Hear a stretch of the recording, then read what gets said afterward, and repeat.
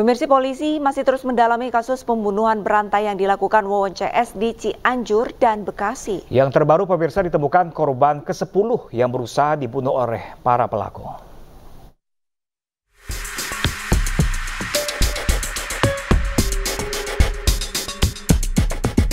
Fakta baru kembali terungkap dalam kasus pembunuhan berantai yang dilakukan oleh Wawon CS di Bekasi dan Cianjur, Jawa Barat. Polisi menemukan ada korban ke-10 yang berusaha dibunuh oleh para tersangka, yakni Wawan alias Aki, Solihin alias Dulo, dan Dede Solihudin. Korban tersebut bernama Ujang Zainal yang merupakan tetangga dari Solihin alias Dulo. Menurut polisi, pengungkapan fakta itu ditemukan dari keterangan para tersangka. Percobaan pembunuhan itu dilakukan dengan memasukkan racun ke dalam kopi saset yang diletakkan di depan rumah korban. Hal ini membuat korban harus menjalani perawatan di rumah sakit. Meski demikian, ia selamat dari upaya pembunuhan.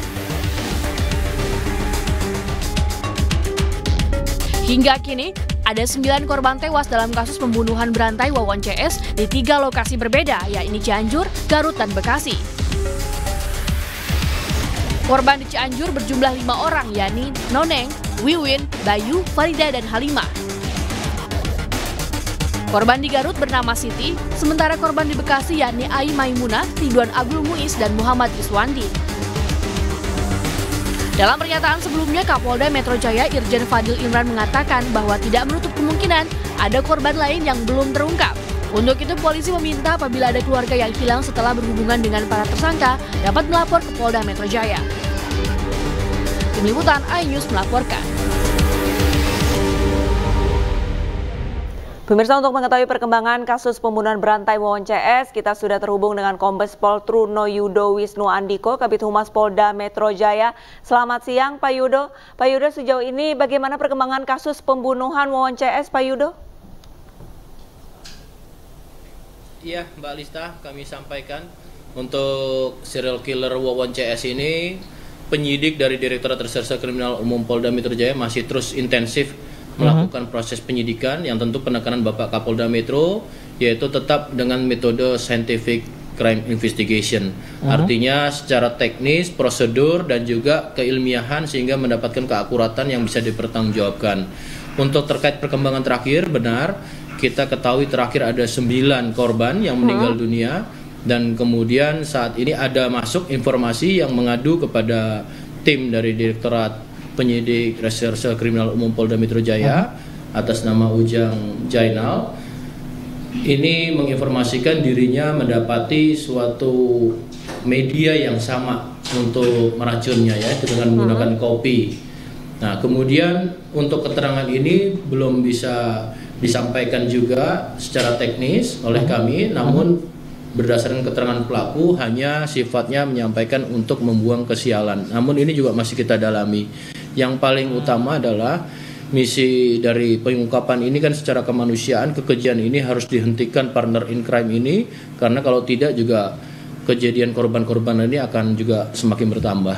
Artinya Pak Yudo ini uh, Ujang tersebut adalah calon korban ke-10 tadinya seperti itu. Iya, informasi yang awal pada saat rilis pertama ya oleh Pak Kapolda Metro Jaya bagi seluruh masyarakat yang memiliki kerabat, saudara, hal-hal yang bersifat janggal karena ada korelasi atau relasi koneksi dengan para pelaku kan agar melaporkan. Nah, ini wujud salah satu laporan yang kita terima dari masyarakat.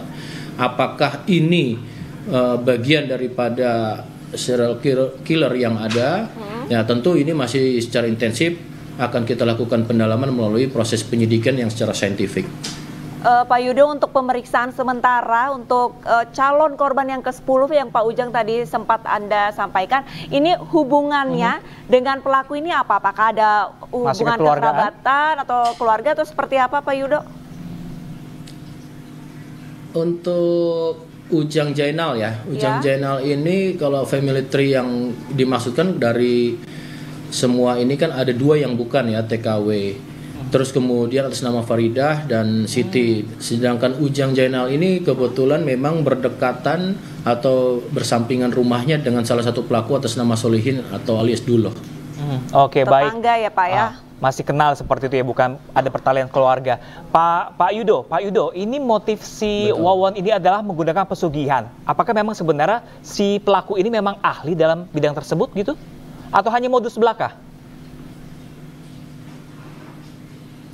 Ya, ini maka dari awal Bapak Kapolda menggunakan scientific crime investigation di antaranya salah satunya adalah APSI-4 ya, kita libatkan dengan psikologi forensik ya.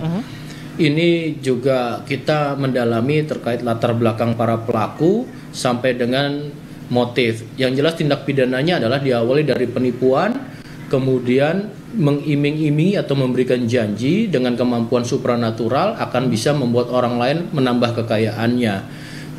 Kemudian ketika orang lain yakin atau korban yakin menyerahkan harta atau uangnya ketika ditagih Hmm. Malah bertambah lagi menjadi hilangnya nyawa para korban. Nah, ini ini masih motif yang kita lakukan adalah motif ekonomi. Namun tidak berhenti sampai di sini karena penyidik masih bekerja secara saintifik. Pak Yudo, eh, mungkin pertanyaan terakhir, Pak. Ini kan pelaku sebenarnya sudah melakukan aksinya cukup lama. Korban pertama kalau saya tidak salah ini 2016. Eh, lantas apa yang menyebabkan tindakan pelaku ini tertutupi hingga saat ini baru terkuak, Pak Yudo? Ya, ini tugas dari penyidik ya, tidak mudah.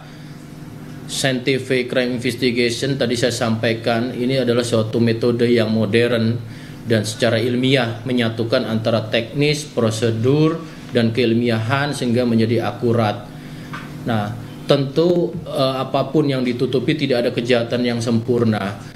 Artinya ini upaya yang sudah sangat luar biasa dari penyidik Direktorat Reserse Kriminal Umum Polda Metro Jaya bisa mengungkap ini sehingga terkuak semua dari TKP Bekasi sampai dengan ke belakang.